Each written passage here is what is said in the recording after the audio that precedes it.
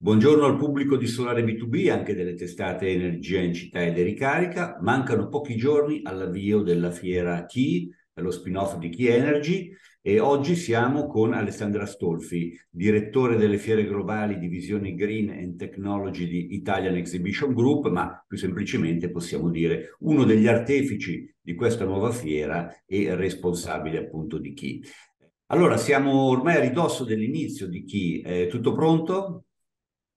Sì, tutto pronto. Abbiamo, abbiamo lavorato tantissimo in questi mesi eh, perché appunto come, come sapete, come sanno anche i nostri espositori della nostra community, l'ultima edizione di Key Energy si è tenuta a novembre 2022 insieme a Ecomondo e, e quindi il tempo a disposizione per organizzare la, la, fiera naturalmente è stato molto più breve di quello che ovviamente serve per una manifestazione di un certo tipo.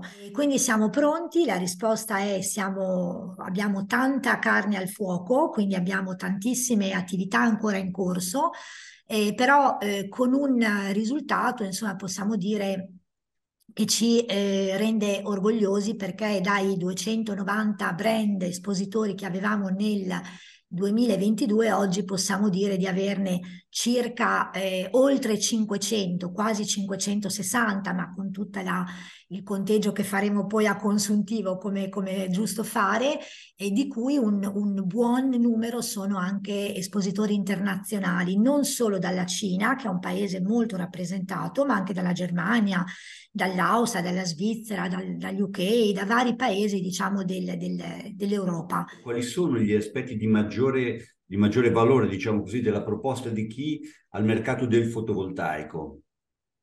Ma allora, anzitutto quello è il mercato che eh, in questo momento tira di più e ha numeri più significativi di crescita eh, in tutti i, i come dire, i rank mondiali, per cui sappiamo che è un settore, come dicevi tu prima, che mancava di un appuntamento di riferimento, è il settore che pesa il 60% eh, rispetto al, al, all'insieme della manifestazione e, e, abbiamo tanti grandi player importanti che mancavano, eh, come dicevi tu, dall'Italia sicuramente anche dagli anni d'oro e quindi sono stati riportati in Italia proprio per l'interesse che il nostro paese sta eh, mostrando rispetto a prima, ma anche per la nostra capacità attrattiva eh, di, eh, come dire, di, di, creare una piattaforma che, eh, che li renda più eh, interessati ad incontrare gli operatori del settore. Quindi, tanti... Dicevi prima circa oltre 500 espositori presenti, quanti visitatori vi aspettate? Allora, guarda, noi sicuramente stiamo lavorando tanto per averne circa una 20.000, 20.000 operatori del settore profilati, quindi eh, ovviamente non curiosi, ma persone, eh, operatori, industria, eh, tutti coloro, installatori, utility, eh, tutti coloro che operano in questo comparto. Quindi lavoriamo molto sul profilo degli operatori perché in fiere come le nostre, come queste tecnologiche, eh, non è importante la quantità, ma è importante la qualità. Quindi la qualità eh, è quella che deve guidare poi qualsiasi scelta e qualsiasi investimento. Eh, e ne abbiamo fatti tanti, Davide, quest'anno perché riteniamo che eh, ci fosse proprio l'esigenza eh, di raccontare a tutti questa nuova eh, questa nuova key, questa, questo spin-off di Key Energy, quindi sia sul fronte nazionale dei grandi media, sia sul fronte dell'inserzionistica, diciamo, internazionale, più specialistica, più specializzata. E avremo quasi,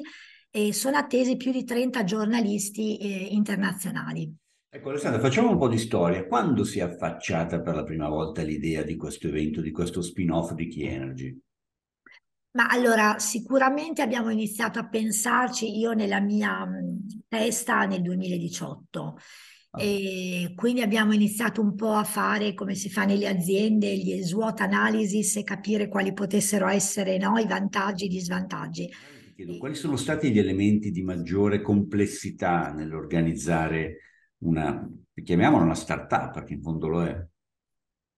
Ma allora, intanto bisogna sempre avere coraggio quando si fanno queste cose ed è un coraggio reciproco sia degli organizzatori che dei, eh, dei, dei chiamiamoli utenti o, o, o, la nostra community. Quindi un po' la diffidenza di non, di non, riuscire in così poco tempo a portare a bordo e ad ingaggiare sia le aziende che i visitatori.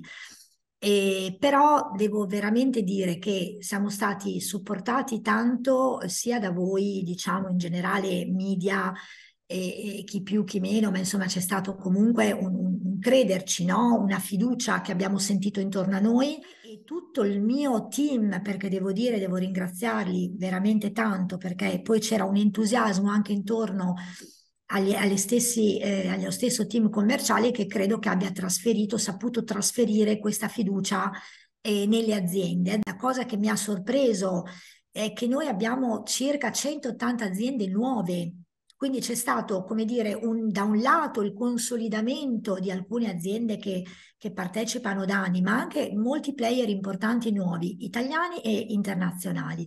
Ripeto, insomma, tenere anche molto caldo il rapporto con il governo e l'interlocuzione con, con, con i policy maker, anche questo è un aspetto a cui noi diamo molta rilevanza. State già cominciando a pensare anche all'edizione 2024? Avete Beh sì, perché poi so, fa parte un po' del nostro lavoro, quello di, come dicevo prima, di pianificare e di guardare al futuro. Abbiamo già le date, che sarà appunto collocata nel febbraio, a cavallo tra febbraio e marzo 2024. E abbiamo già stretto diversi, associa- diversi accordi con associazioni internazionali, sono più di 30 e che poi proseguiranno anche nel 24 perché un anno è breve, le nostre ambizioni sono, sono alte e vogliamo assolutamente eh, diventare la fiera più importante del bacino del Mediterraneo. Per fare questo eh, serve tanta pianificazione, tanto lavoro e tanti amici.